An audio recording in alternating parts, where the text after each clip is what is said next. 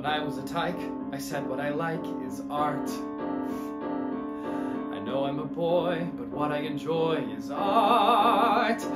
Looking at paintings, going to plays, music and books informing my days, filling my mind, flooding my heart with art. I had this dream of a city of artists, Versailles by the Florida Sea, a sort of world congregation of artists, all encouraged to set themselves free.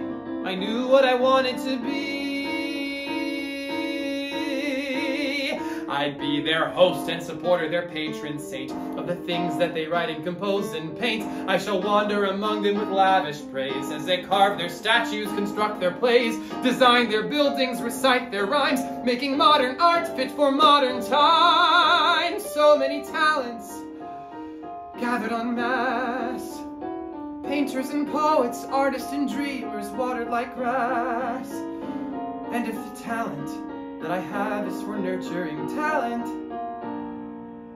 then succeed or fail, I will see they sail first class.